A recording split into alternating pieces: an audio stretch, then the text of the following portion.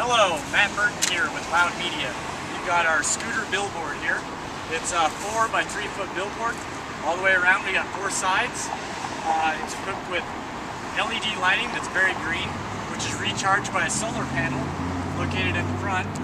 Uh, it's very bright at night, very visible.